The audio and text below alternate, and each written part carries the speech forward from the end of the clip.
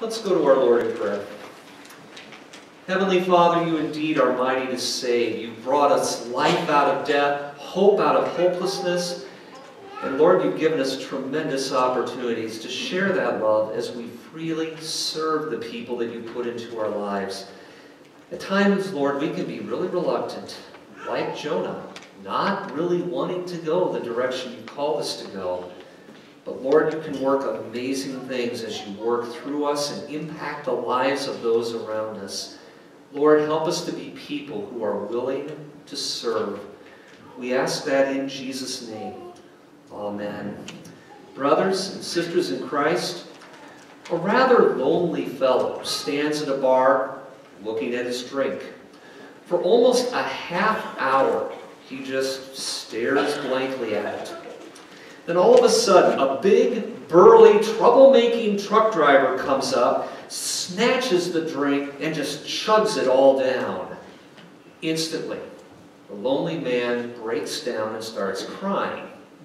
Oh, come on, says the truck driver. I was just messing with you. Look, I'll buy you another drink. I can't stand to see a grown man cry. But you don't understand, the man replies. This has been the worst day of my life.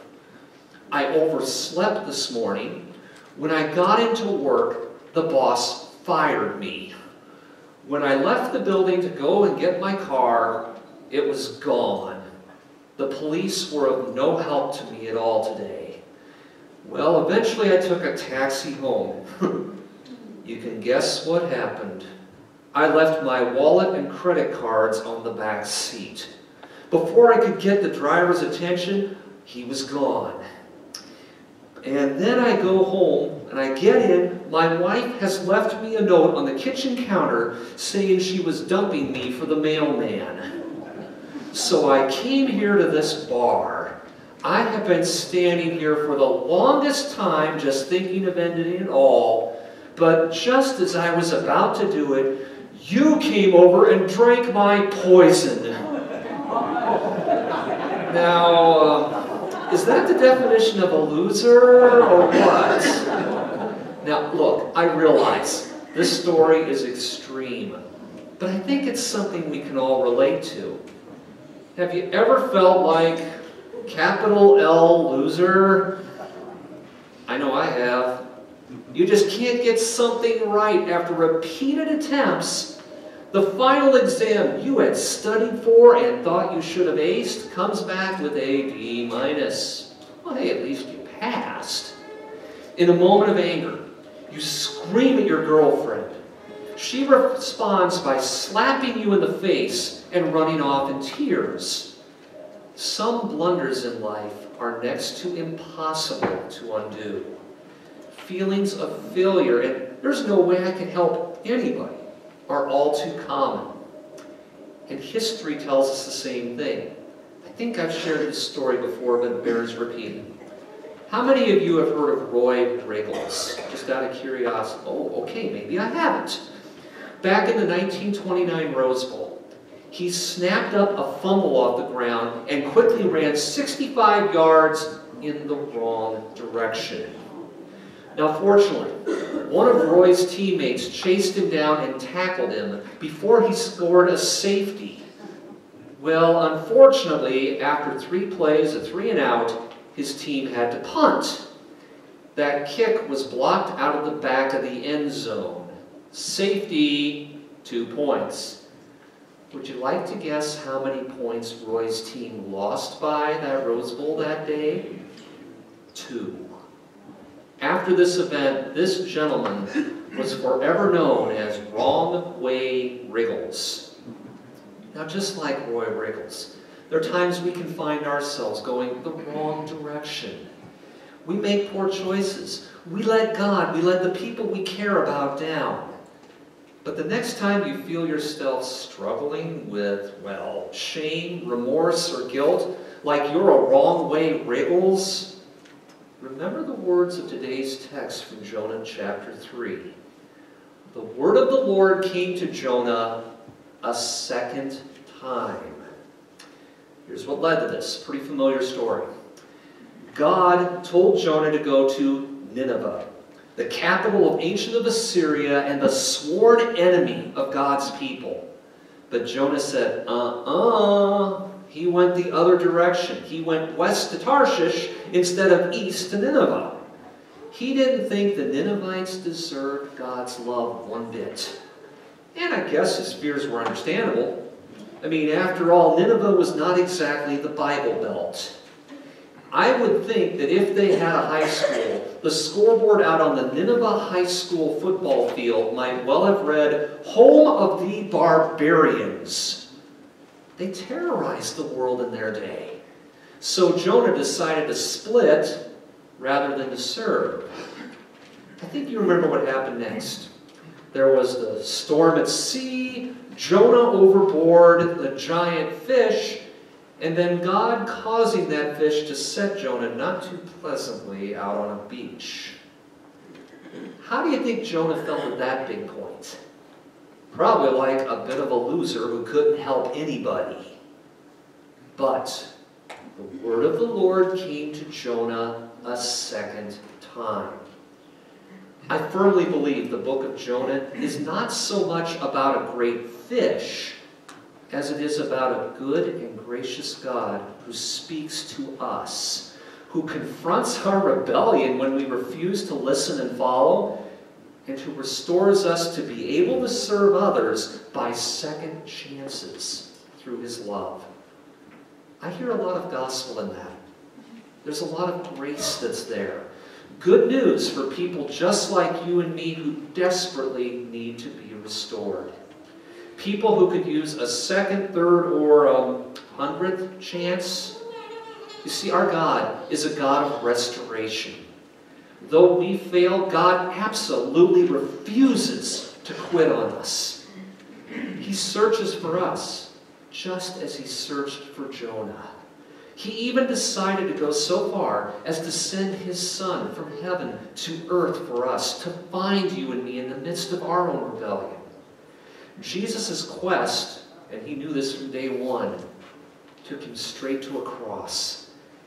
And it was his death for you and me that took away our rebellion, that took away our sin, and restored a broken relationship with our Heavenly Father. So God restores us not just to forgive us, but to love and to speak of His word and hope to others as we serve Him. Isn't that what happened with Jonah? Because the Lord commanded Jonah to go ahead and do, well, what he commanded him to do the first time around. Go to the great city of Nineveh and proclaim to it the message that I give to you. So this time, instead of running away, Jonah ran the right way. He now knew, hey, God is with me, that he has a plan. So the prophet began the 500 mile journey across the high mountains and the high desert plains to the ancient city of Nineveh.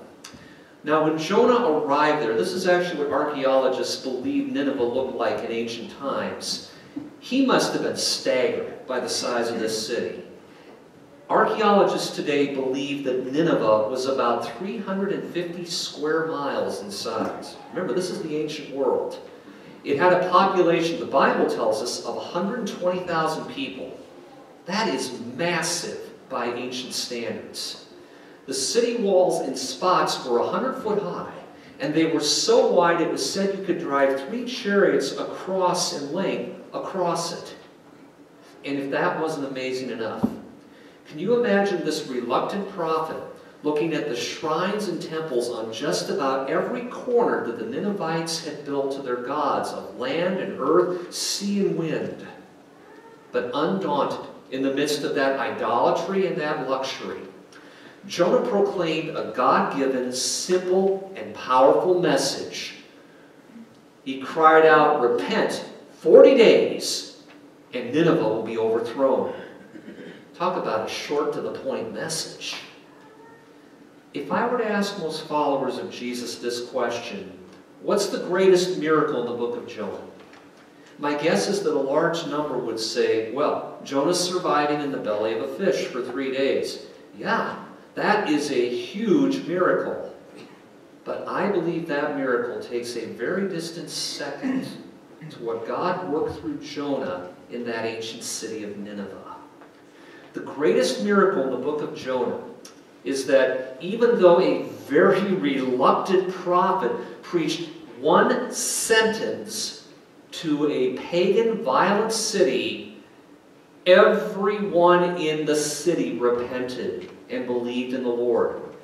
The Bible tells us very clearly that every Ninevite, from the littlest to the largest, all 120,000 of them, including the king, took Jonah seriously, and they responded immediately. They literally humbled themselves before the Lord, and they turned back to Him. They turned from their evil ways. And this was more than an outward show or mere lip service to God because it says that they fasted, they prayed, they changed their lives from the bottom of their hearts. Listen to these words from the king. Who knows, said the king of Nineveh, perhaps the Lord will change his mind and not destroy us. This is from a pagan king. That's exactly what happened. When God saw their turning of heart, repentance, which literally means to turn from or turn to, God had compassion on them. He didn't destroy them. Talk about a miracle. Now, do you see the irony in all this?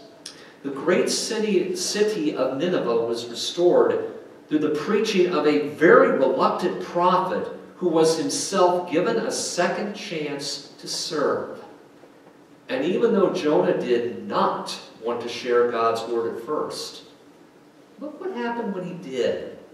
The results were astounding. When you share Jesus with others, you may never know what the results are going to be.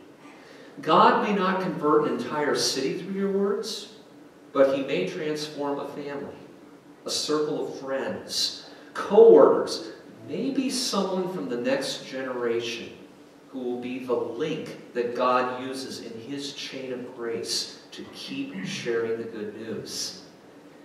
And if Nineveh can repent, anybody can repent. And remember, it's not you or I that bring about repentance. It comes through the Word of God, which is more powerful than anything we could say of ourselves. Now, we may think, okay, I know that I should share the love of Jesus with, or my faith with this other person, but what good is it going to do? Who am I to be able to persuade him? Well, he would never become a follower of Jesus anyway. Perhaps we think that they're too far gone.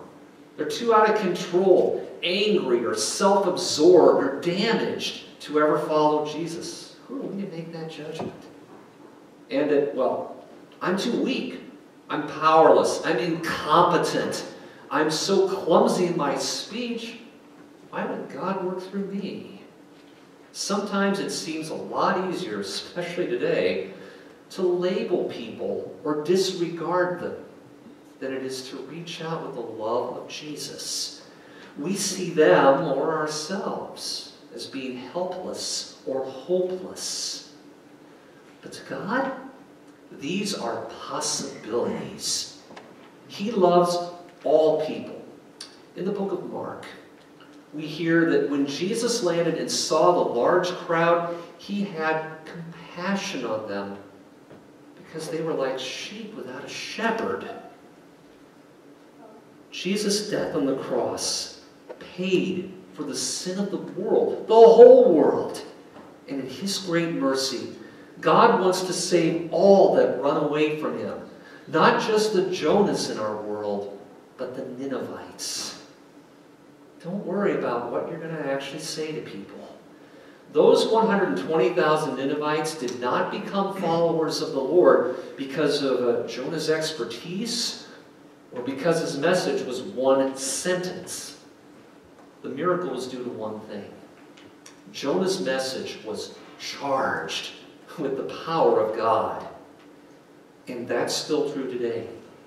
Even though God uh, doesn't command us to go out, and I hope you don't do this, in 40 days all of Sandpoint will be destroyed. Don't do that.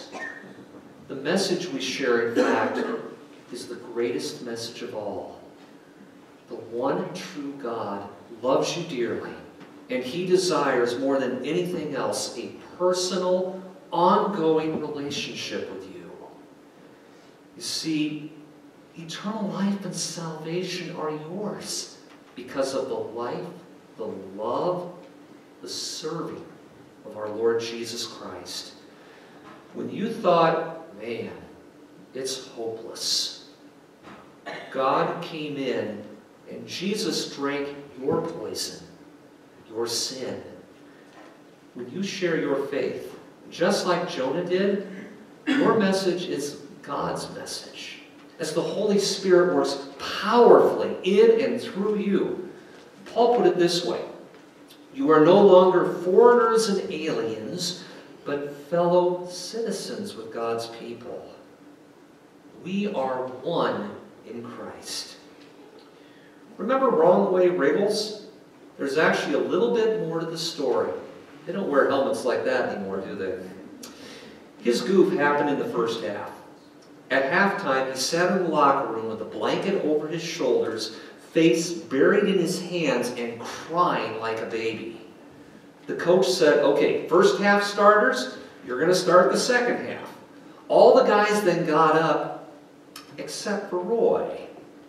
The coach looked back at him and said, Roy, did you hear me? Get up, let's go. Roy looked up and said, Coach, I can't do it. I've ruined you, I've ruined myself. I just can't face the crowd. The coach answered, Roy, get up. The game is only half over. Rather reluctantly, Roy put on his helmet and got going. Sports writers who covered that 1929 Rose Bowl later wrote that Roy probably played one of the best halves of his life. So this next time that you hear or read about Jonah, say to yourself, how great is our God? When we take the ball and run in the wrong direction, when we stumble and fall headfirst into our sin and are so ashamed of it we never want to try again, God comes to you. He bends over you and says, Get up. Go back. The game is only half over. Strengthened by His presence, we forgive others as we have been forgiven. We love as we have been loved. And we speak of His wonderful life and hope to others. Thanks be to the God who restores us through the cross of Jesus and leads us to go from there to serve others. In Jesus' name, Amen. And now may the peace of God, which passes all of our human understanding, keep your hearts and minds in the true faith of our Lord Jesus Christ. Amen.